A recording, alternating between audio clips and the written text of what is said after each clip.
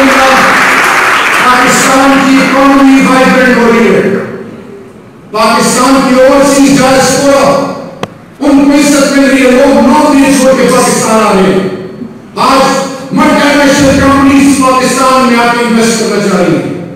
آج پاکستان کی قوم کی عزت اور وقار میں دنیا حیران ہے۔ دنیا حیران ہے۔ دنیا نے اس قوم کو اصل روح اور اصل شکل میں نہیں دیکھا تھا، کیونکہ پہلے حکمران اپنی ذاتی مفادات کو ملکی مفادات پر آگے رکھتے تھے۔ اب اس پاکستان میں میسج ایک ہے کہ پرائم منسٹر، کیبنٹ، ممبران، بڑے بڑے افسران، قانون سے بات کر نہیں۔ اول چیز اللہ اللہ کے محبوب کے بعد یہ دھرتی ماں ہے سب کچھ قربان اس دھرتی ماں پر میرے بچے آج سے آپ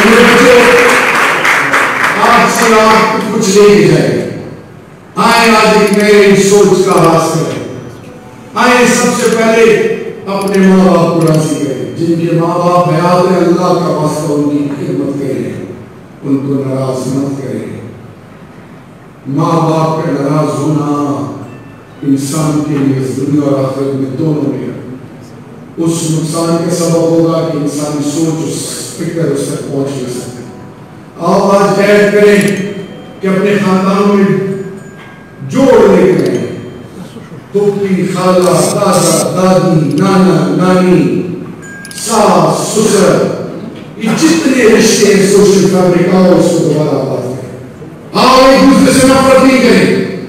عزت دیں مذہب اور مسجد کے نام پہ تقسیم سب کو گلے لگائیں اور میری قوم کی بیٹیوں، جس گھر میں جانور ہو اس گھر کے وکیل اس جانور سے انکار کرتے ہیں، یہ تو اللہ کی مخلوق ہے۔ اللہ کے محبوب کی امت ہے۔ ہمیں یہاں اس سے جی چیئر کرنے کو زمین اور رسوا کرے اور انسان کو عزت دے جب انسان کو عزت ملے گی تو اللہ ہمیں عزت دے گا۔ اور پاکستان ایک ایسی عظیم قوم بنے گی انشاءاللہ۔ یہ میرا ایمان ہے۔